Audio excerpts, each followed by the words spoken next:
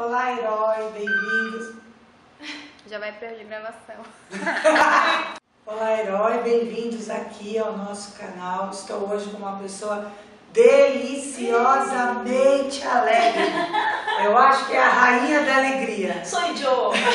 Uma queridíssima Marise Galino, apresentadora de TV, diversão de torcida organizada.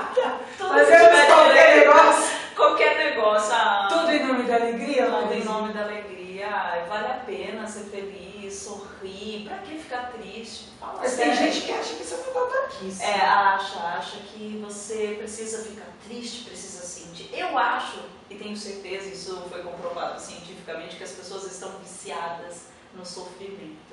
É um absurdo, né? Você fala, como assim? Se eu tenho duas escolhas na minha vida, de ser feliz, ser alegre, e em contrapartida, ou sofrer ou ficar triste, eu escolho o pior, por que, que eu quero isso pra mim? Então será que eu me amo? Mas você acha que, isso tem a ver um pouco com a religião da pessoa? Olha, A acho que religião acaba é, embutindo esse sofrimento? Eu acredito que seja por causa de religião, de cultura, é, até da forma como os pais criam os filhos. É, é um conjunto, é religião, cultura, reprogramação mental, que a criança cresce vendo os pais, vendo a sociedade fazer aquilo. Ai, como vamos sofrer? Não, não pedir pro, pro corpo, porque é você que manda, né? O seu corpo fica doente, tá? Fica mal, sofre, você é ruim, você tem ba- baixa autoestima, o outro é melhor, se lasca, se lasca, se lasca. E fica ali, deixa o pensamento. Eu sou ruim, eu sou ruim, eu sou ruim. E perde o maior tempo. Para a pessoa entrar em depressão, ela precisa se esforçar muito. E para ser feliz também precisa se esforçar muito, por isso que eu sou alegre. Você já sofreu preconceito por conta da tua alegria? Já, bastante. Pela falta de compreensão. Mas eu, eu entendo a pessoa que chega, mas por que que você sorri? Não é normal, você é falsa. Fala, tá bom, eu sou falsa. Porque você corre o risco de ser taxada de boba alegre, né? É, mas eu nem ligo, eu nem É. ligo, porque assim, a pessoa que cria o inferno para ela, né? Eu resolvi criar o meu paraíso. E assim, claro, eu sei o que está acontecendo aqui no mundo. E de certa forma eu sofro junto também, né? Eu tenho compaixão. Mas em contrapartida eu sei que eu tenho uma força muito grande para levar algo de bom que nasceu comigo, que é essa alegria. Então eu falo, se eu nasci com isso, eu tenho um propósito para fazer, que eu preciso direcionar isso para alguém. Não posso deixar só para mim, seria egoísmo demais. Então por isso que eu gosto de dar tiro para tudo quanto é lado, uma flecha de alegria, pá, e você, pá, pra que fica O cupido da alegria. é, pá, acorda pra vida, viva consciente, né? Eu acho que quem sofre vive na inconsciência, E na quem- insanidade. Mas como você falou, você nasceu com essa alegria. Quem É. não nasce com essa alegria? É, Da onde tira? Da onde pode... Eu até vou melhorar, vou melhorar isso. Não é que eu tenha nascido, na realidade eu acho que a gente nasce com uma reprogramação, todo mundo tem aqui. Só que aí vai das suas escolhas. Depois de uma determinada idade, você vai se descobrindo, você vai se conhecendo. E aí você escolhe o que você quer ser. Pensa, claro, você foi reprogramado de um jeito. Você viu sua mãe fazendo uma coisa, seu pai, a sociedade falando. Só que você, mesmo com tudo isso, com todos esses estímulos externos, você pode fazer a sua escolha. Porque a gente tem duas vertentes aqui dentro. Ou eu vou ser muito mal, ou eu vou ser muito boa. A gente tem talento para ser muito bom. Muito bom mesmo, assim, coisa de quase ser perfeito, mas tem que se esforçar pra caramba. Então por que não escolher esse talento maravilhoso que é uma pedra bruta que a gente precisa lapidar? Só que não, as pessoas preferem ficar no, no lado oposto, porque todo mundo é assim, então é melhor porque eu quero ser aceito, que aí cai no lance da carência, de se sentir amado, e nada a ver, isso é uma ilusão. As pessoas não estão sendo amadas uma odiando a outra e criticando a outra. As pessoas nem ao menos estão se amando. Que aí é, é o objetivo principal. A gente veio para aprender a se amar, porque quem se ama, ama o outro também. Nem isso a gente sabe. A gente fala tanto amor, amor, mas ninguém sabe o que é. Você sabe que eu vi hoje em algum lugar na internet falando que nunca foi tão usado o símbolo do infinito. É, Porém, que é tão contraditório que é no momento em que o amor é a coisa mais descartável, né, de todos os tempos.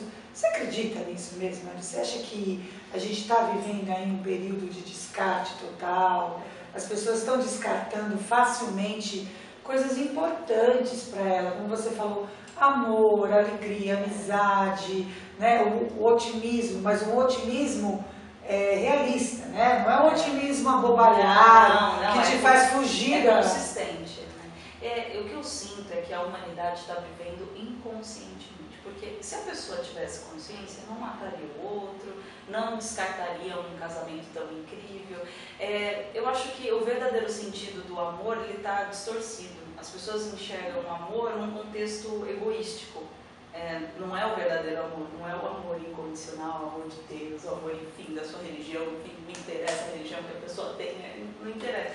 Falando no contexto do amor, de você olhar o outro e perceber o que, que o outro está precisando, de abraçar. Você nem sabe o nome da pessoa, mas se sente que aquela pessoa está precisando de alguma coisa. E você vai lá e dá aquele abraço e é uma troca tão linda. Isso é amor. Você não está querendo nada em troca, é, você não quer que a pessoa fale, ai, muito obrigada, ai, que querida. Não, você não quer nada, você só quer que aquela pessoa se sinta bem. Essas Isso. pessoas têm dificuldade em acreditar nisso. Né? Elas têm porque elas não conheceram o verdadeiro sentido do amar. Elas estão na fase da adoração, do consumismo, da matéria, do ter, ter, ter, esqueceram de ser. né? O ser é, é incrível, tanto que quando você se conecta com quem você verdadeiramente é, com o seu ser, que, que a gente é feito de, de luz, de energia, de força maior, o resto fica tão pequeno, você enxerga as coisas como, ai, tudo bem. É, o dinheiro é como se fosse é, uma borracha que eu vou lá e compro. Tá bom, tudo bem. Porque é um step para você conseguir manter a carne humana e tá tudo bem. Não é o essencial, não, não é. Se você trabalha essa estrutura aqui dentro de você, nossa, o resto você consegue tranquilamente.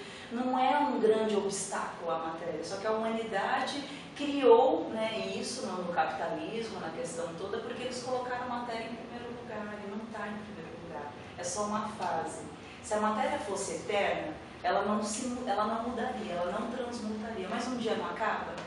Você não, essa carne não vai morrer? É, nós já nascemos para perecer. É, né? isso aqui não vai morrer, isso aqui não vai passar, vai vir outra geração, vai transformar, esse prédio vai estar abaixo, vão construir cidades lindas, assim espero.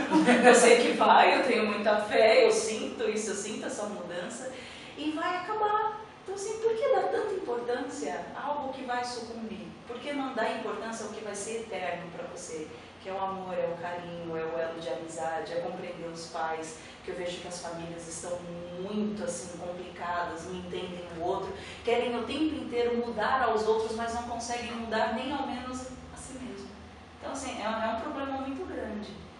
E você, assim, é, eu acredito, eu, como todos os mortais, você já teve mesmo perrengues bravos assim, na tua história, né? Vários, vários. E aí, como é que é? Você, você se permite alguns dias mesmo de, de down, aquele dia é bem engraçado. punk, ou você, tipo, já quer virar logo o jogo? Como é que é? Quando eu era mais nova e vinham esses estímulos ruins, eu não entendia muito bem. Então eu me colocava numa posição de vítima. E aí, aí só que vinha uma força muito grande e falava assim pra mim, não, é como se a minha consciência estivesse conversando comigo, uma confusão, mas é mais ou menos isso.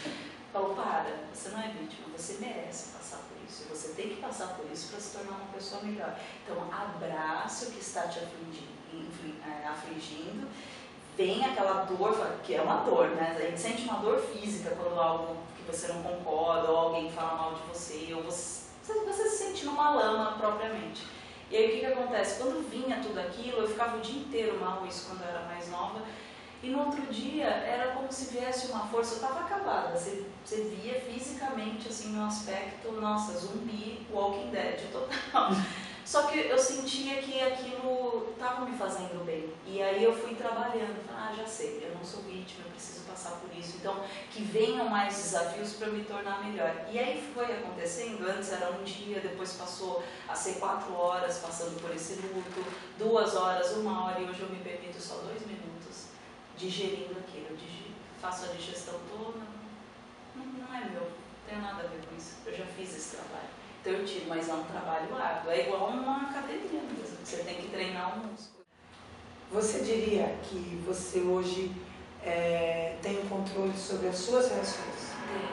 Você deixou o que eu acho que a grande maioria, o erro que as pessoas cometem é querer controlar o restante do mundo e menos Não. assim. Não tem jeito, assim, parei de querer controlar os outros, entendi o que eu sou e sei que tem emoções que que vão que surgir. é? Então, o que que eu sou? O que, que você é? O que, que eu sou? Eu sou uma essência divina que está em evolução. Eu tenho muitos defeitos ainda, mas eu tenho um talento danado para aprender a amar. Então eu estou nessa nesse foco, sabe, de aprender a amar a cada dia. Que nem eu estou aqui com você, eu estou sentindo que eu estou te amando, que eu estou inteira com você, eu estou conectada, inclusive com ela também. É, é como se eu estivesse na pele de vocês, sentindo a necessidade do que vocês precisam ouvir e também aprendendo com o que vocês me falam. É, Que é é a compaixão. que é a compaixão. Então, assim, É aquela coisa que a gente fala assim, o Deus que existe em mim, ele só poderia te amar se você permitir, né? Que o seu Deus também possa, né? Me amar. Essa é uma troca universal, assim, de, de concessões. A gente concede, né? A gente espontaneamente entrega o seu amor, o seu desejo de ver a pessoa melhor. Você tem um canal, né? Você tem um canal que fala muito de espiritualidade. Fala, é a jornada, é, é, e tal. é E aquilo é inspirativo. E você, eu acho que é uma extensão de você, Uhum. né? E aí fala pra gente então um pouquinho desse trabalho, o que te Claro. levou, porque é um canal, depois você deixa pro pessoal te achar, Claro. que motiva, né? Eu acho que é isso. Amanheceu mal, porque eu acho assim, são raríssimos as peças que acordam felizes como esta criatura. Eu já falei às vezes, a gente que acorda rindo, mas tem um pacto com alguma coisa que é o que, que possível. foi? O que, que é Não é? isso? Eu, eu sou sincera, eu acordo, o cachorro me olha, ele até sai, fala, não é o momento para o bom dia. Mas no Tem- decorrer do explicações Mas, gente, assiste o canal da Marisa logo cedo, no café da manhã. Dá um up, dá uma acordada. Ah. Então, eu resolvi fazer isso porque, assim, eu sempre escrevi algumas mensagens, eu- eu sempre tive essa, essa intuição muito forte, né? Que eu tinha que compartilhar. E eu sinto que vem é uma mistura que vem de mim, mas parece que tem outras forças lindas também ajudando. E realmente não interessa a sua religião. Eu estou tentando transpor qualquer tipo de religião, porque só existe uma verdade, né? Que todos somos irmãos e que a gente precisa um ajudar o outro. Ponto. E aí veio Jornada Espiritual por causa de um grande amigo meu, que é espiritualista, ele é incrível, ele está bem engajado nisso. Era um cara que trabalhava numa empresa incrível, estava muito bem assim estabilizado nessa questão da matéria, mas aí ele teve um insight precisou mergulhar fundo nessa questão e foi. E aí ele me convenceu e a gente não estuda absolutamente para passar as mensagens. A gente pega um tema É que o inter- internauta passa e aí ele com as conexões dele, a gente fala conexões porque é como se a gente tivesse conectado com algo maior. E as palavras vêm, tanto que quando eu vou assistir eu falo, quem falou isso? Que é incrível, eu falo, isso não veio de mim, não, não é meu arquivo. Claro, eu leio bastante, eu gosto de pesquisar, mas coisas pra mim. Mas às vezes naquele momento eu sinto que tem coisas que precisam ser ditas e as palavras vêm. É como se eu estivesse conectada com agora e o agora me passasse algum tipo de codificação para eu transmitir. É como se eu sentisse todo o movimento atual do Brasil, da nação, muito legal. Então entrem lá, Jornada Espiritual, que é bem legal. É só Jornada Espiritual. A gente já está no sétimo episódio. Olha tá que indo legal, hein? É, Toda segunda-feira tem um vídeo novo. Tá vendo? Ó, tem meu, tem dela. Então Um não dá pra gente. começar a semana ruim. Não, não Eu tem acho que não dá, só se quiser, né? Só se quiser. Aí até uma dica que eu falo. Quando você fica parado, pensando em um monte de bobagem, porque a gente se identifica com as imagens que o cérebro produz. Porque o cérebro ele só quer resolver questões que você não conseguiu resolver. Então por isso que ele fica matutando o passado ou o que está por vir. Mas para, pensa no agora, fala, não, peraí, eu não preciso ficar me identificando com essas coisas. E você começa a programar outras coisas. Como que você vai fazer isso? Fala uma palavra assim. Toda a riqueza e a abundância de Deus também está em mim. Mas repete, massacra, massacra. Toda a riqueza e a abundância de Deus também está em mim. Mas você repete, toda a riqueza e a abundância de Deus também está em mim. Você manda ordem. É quase um mantra. É um mantra, você manda ordem. Todos os seus hormônios, eles vão entrar em congruência com isso. E aí você vai sentir que você é toda a riqueza e a abundância de Deus. Segredinhos É. de nariz Vidalina. Então não fica perdendo tempo pensando e gastando energia com mal, ai porque eu não tenho. né? Não, você tem tudo. Você já tem tudo. Para pra ver. Você já tem Toda a tudo. riqueza e abundância de Deus também está em também mim. está em mim. Gostei. Porque está nela, está em você, está em todos e também em mim. É, é. Gente, olha, eu amo essa garota, sou eu fã dela amo. há muito tempo, né? A gente teve a honra de trabalhar juntas algumas vezes. E eu não podia pensar em ninguém melhor para falar de alegria para vocês, para trazer essas dicas para que vocês possam realmente aproveitar o melhor da vida, que é o agora.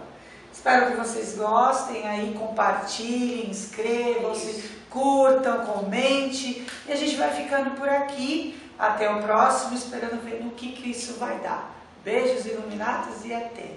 Um beijo, escolham ser feliz, tá? Pelo amor de Deus.